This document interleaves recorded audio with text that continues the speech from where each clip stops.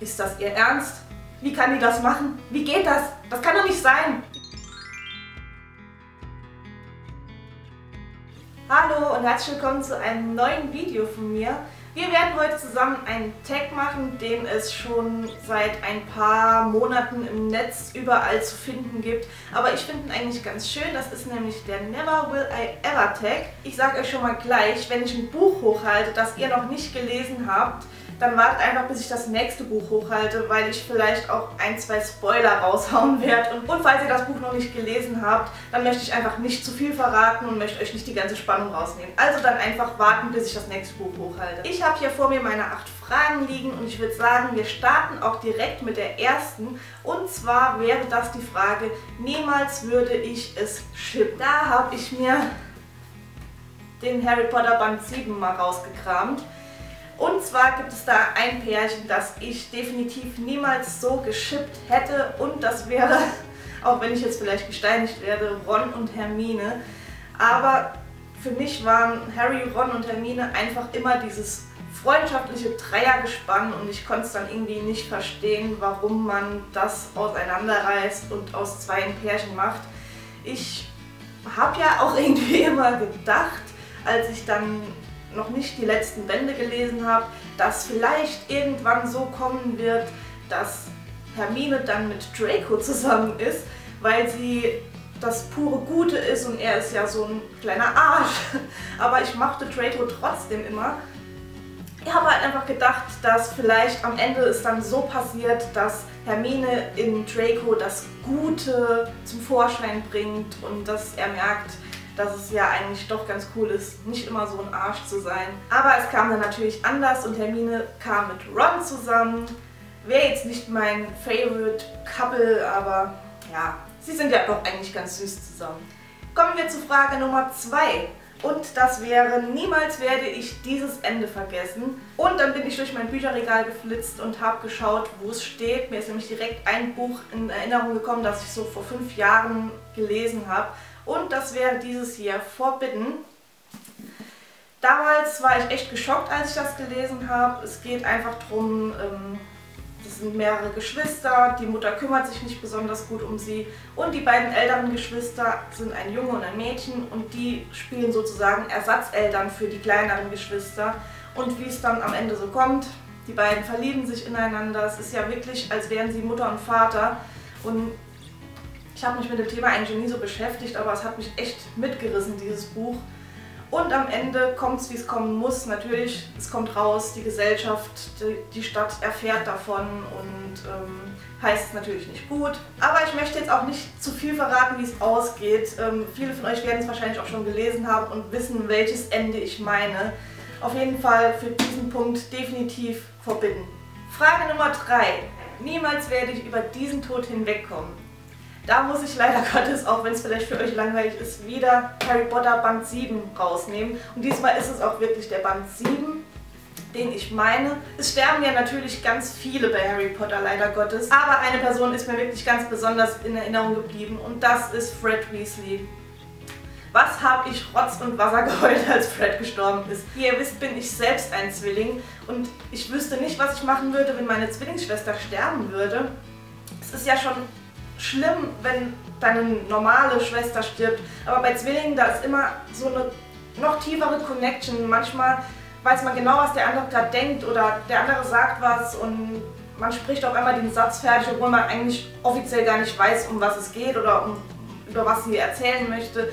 Auf jeden Fall habe ich da beim Buch gesessen und habe gedacht, ist das ihr Ernst? Wie kann die das machen? Wie geht das? Das kann doch nicht sein. Ich war komplett fertig, als ich das damals gelesen habe. Ich weiß noch, ich habe das Buch zur Seite gelegt und gesagt, den Scheiß lese ich jetzt nicht mehr. Ich kann doch nicht den Fred umbringen. Das geht doch nicht. Bin wie ein Idiot durch die Wohnung getigert. Habe dann natürlich trotzdem am selben Abend noch weitergelesen, weil ich wissen wollte, wie es ausgeht. Also definitiv von allen Toten in Harry Potter war Fred mein absolutes Trauma. Kommen wir zu Frage Nummer 4. Niemals werde ich aufhören, über dieses Buch zu weinen. Und da habe ich mir ein ganzes halbes Jahr rausgesucht. Ich habe das damals gekauft, als es erschienen ist.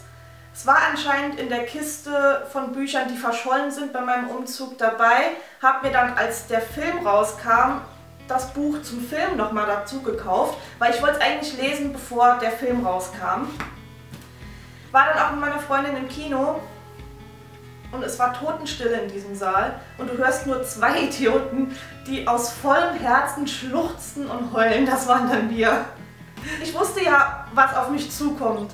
Es war einfach so schlimm. Ich konnte nicht verstehen, warum Will, jetzt wo er die große Liebe gefunden hat, sich so entscheidet, wie er sich entschieden hat. Das geht doch nicht. Mir hat sie so leid getan. Also egal, wann ich den Film nochmal sehen werde, egal, wann ich das Buch nochmal lesen werde, ich werde definitiv wieder weinen. Kommen wir zu Frage Nummer 5. Niemals werde ich dieses Buch lesen. Und das war ganz klar, da habe ich gar nicht groß überlegen müssen. Es gibt nämlich ein Buch auf dieser weiten, weiten Welt, das ich definitiv niemals lesen werde. Und das wäre Es von Stephen King. Wer mich kennt, weiß, dass ich absolut panische Angst vor Clowns habe. Als jetzt diese Neuerscheinung kam mit diesem neuen Pennywise-Clown, ich weiß nicht, wie oft ich einfach den Fernsehen ausschalten musste, weil ich einfach diesen Clown nicht ertragen habe. Ich hasse Clowns. Für mich gibt es nichts Unheimlicheres als Clowns. Wenn ich schon irgendwo ein Zirkusplakat sehe, dann muss ich in die andere Richtung gucken. Es geht einfach gar nicht. Auch wenn es nur geschrieben ist. Aber ich weiß, es geht um einen Clown und ich werde dieses Buch niemals lesen können. Frage Nummer 6. Niemals werde ich aufhören, dieses Buch zu feiern. Und es ist zwar jetzt kein einzelnes Buch, sondern es ist ein ganzer Band, den ich mir rausgesucht habe. Und zwar wären das die Tribute von Panem. Als damals diese Schuberbox erschienen ist, musste ich sie direkt haben und habe meine zwei anderen Bände, die ich bereits hatte, direkt nochmal verkauft. Ich liebe aber auch einfach diese Aufmachung. Es ist einfach so schön gemacht und es sieht in meinem Schrank einfach so dekorativ aus. Ich kaufe ja Bücher manchmal auch, weil sie schön aussehen. Und außerdem habe ich durch das Buch ganz, ganz tolle Menschen kennengelernt. Und zwar bin ich vor vier Jahren, ja, ich glaube, es war vor vier Jahren, bin ich mit zwei Freundinnen hier aus dem Saarland hoch nach Köln gefahren. Da war das erste Tribute von Panem Fan-Treffen von Fans für Fans und es war richtig witzig. Es waren so viele coole Menschen, man konnte sich auch einfach austauschen äh, über den Film, über die Bücher. Es waren einfach mal ein paar Gleichgesinnte und man hat sich irgendwie so richtig aufgehoben gefühlt. Und einer dieser tollen Menschen war die Lea von Liberiarium. Und seither sehen wir uns eigentlich immer einmal im Jahr, wenn Ringcon ansteht, beziehungsweise jetzt heißt sie ja Magicon. Und ich freue mich schon richtig auf April, wenn wir wieder unterwegs sind. Frage Nummer 7. Niemals werde ich dieses Buch verleihen. Normalerweise habe ich gar kein Problem damit, meinen Freundinnen meine Bücher auszuleihen. Bei denen weiß ich auch einfach, Sie behandeln die Bücher genauso gut, wie ich sie behandle. Da kommen keine Eselsohren rein, da kommen keine Kaffeeflecken drauf, da wird nicht der Schutzumschlag malträtiert. Also wirklich, bei denen weiß ich ganz genau, wenn ich die Bücher ihnen top gebe, kriege ich es auch wieder top zurück. Allerdings gibt es so ein paar Bücher, die ich trotz allem niemals verleihen würde. Und das wäre zum Beispiel dieses hier, Silber von Kerstin Gier. Wie ihr wisst, bin ich ein großer Kerstin Gier-Fan. Das Buch hatte ich mir damals von einer Freundin ausgeliehen, als es rauskam und sie es natürlich schon gelesen hatte. Sagte, das musst du unbedingt lesen und da es halt eine ganze Reihe war, habe ich gesagt, ja, dann gib mir doch mal bitte dein Band 1, dann kann ich schon mal reinlesen und wenn es mir gefällt, kann ich mir die anderen dann ja einfach dazu kaufen. Ich war natürlich sofort begeistert und dann hat sie mich irgendwann angerufen und gesagt, du pass mal auf, äh, die Kerstin Gier kommt in den Drachenwinkel. Das ist so eine ganz, ganz süße Buchhandlung hier bei uns im Saarland. Soll ich uns Karten holen? Habe ich gesagt, ja, kauf auf jeden Fall. Ja, der und der und der kommt auch noch mit. Gut, alles klar, wir mit den ganzen Mädels dorthin gefahren und es war richtig schön. Es war einfach ein super schöner Abend. Haben wir am Schluss haben wir noch mit ihr gequatscht, noch Fotos gemacht und der Grund, warum ich das Buch nicht verleihe, sie hat es mir einfach signiert. Ich habe mir nämlich Band 1 dort in der Buchhandlung gekauft, weil ich als zwanghafter Mensch zwar Band 2 und 3 hatte, aber sie kann ja nicht Band 2 signieren. Für mich muss man immer Band 1 signieren. Ich weiß nicht, wie das bei euch ist, das könnt ihr mir gerne mal sagen, aber